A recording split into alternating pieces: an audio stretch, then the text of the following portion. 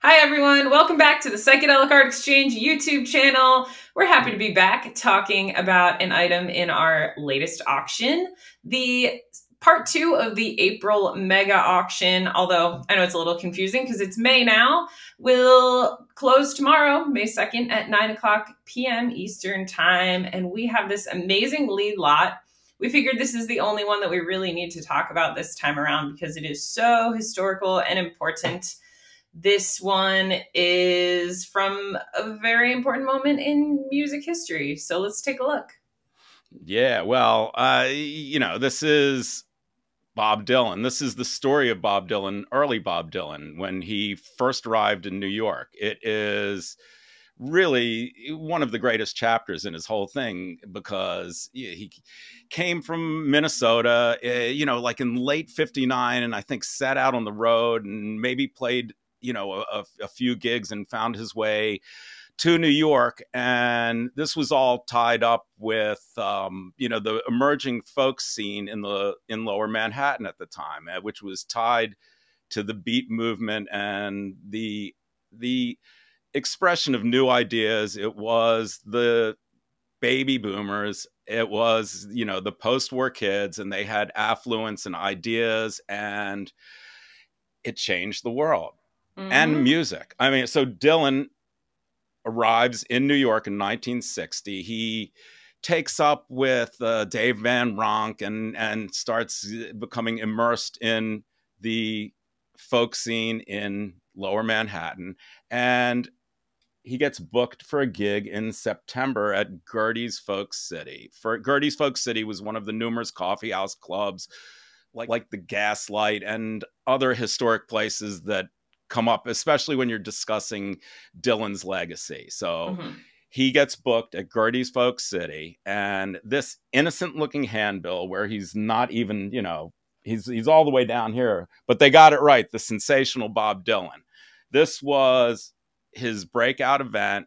It was captured and reported on, reviewed in the New York Times on September 29th. And as they say, the rest is history know, this piece really was shocking that it came in. I, yeah, I know about the event. I know about this place in history. It's all beautifully um, captured in Dylan's autobiography, uh, Chronicles Volume One, which anyone who's interested in Dylan, who you know, I can't see why you wouldn't. He's one of the most interesting figures in not only music but in popular culture. Um, and you know the whole timeline of Dylan. This could we could go on for an hour about this, but this is the beginning. And after this was a couple weeks later, he was uh, introduced to John Hammond, the you know the super influential producer.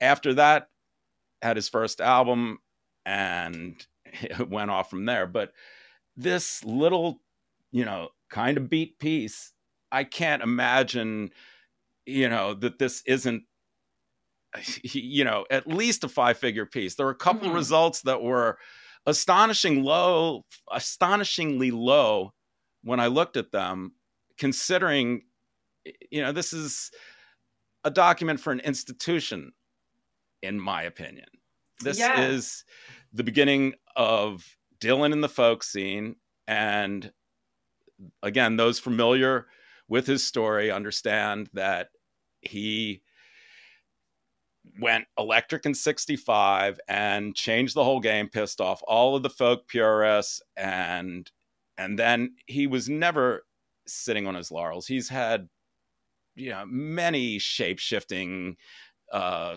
creative periods in his life and he, but and he's still on the road. Um yeah he's one of the most prolific guys of all time. Absolutely. yeah and and you know, traveling Wilburys. Do we say anything more? The greatest supergroup of all time. Oh, that's bold. uh, all right. I mean, but also true. Uh, it, you know, challenge me on it. We'll talk. Um, uh, anyhow, so you know, this uh, this is um, you know an unbelievably scarce and important piece. If you're a collector of deep esoteric material, not esoteric, but you know, esoteric pieces. This is not a splashy, colorful right. Dylan poster. And it's funny in the world of Dylan posters, it, it seems that this early stuff has not quite gotten the impact of other artists of that era. I draw a parallel in the description to the Beatles because they mm-hmm.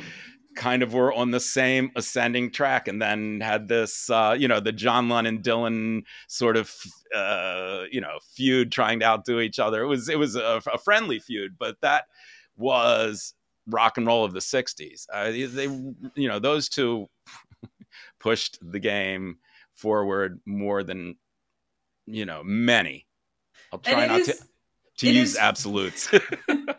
it is true in this hobby that sometimes there are pieces that are, you know, artistically exciting and sometimes his more on the historical like more historically exciting and this one's definitely a little more like of a you know exciting historical piece rather than like a work of art but it still looks really cool yeah it gives me chills It mm-hmm. is. it's just it's just one of those those pieces that like the dna from that room is still in there and you kind of can time travel through this but you know you make a, a, a good point people collect this material for various different reasons and there's nothing wrong with how anybody collects. But if you're into rare, if you're into important, if you're into, you know, something that there's not many opportunities to own, we're super super proud to have this in our sale. It's sort of you know, it's it's it's a big moment for us in my opinion. Maybe it's just cuz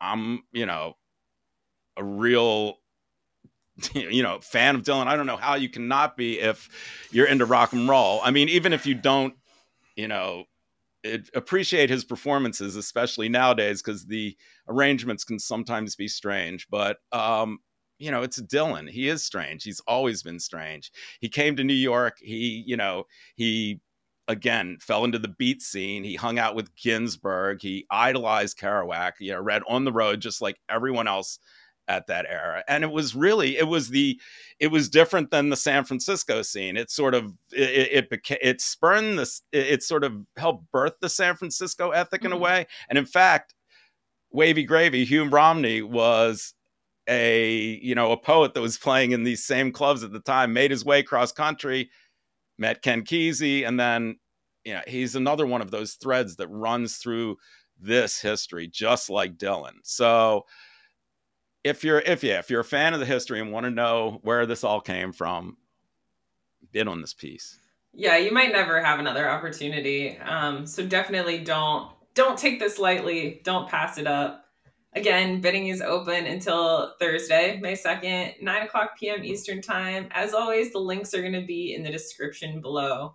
Thank you so much for tuning in today. We, we'll be back super soon with another video. Thanks again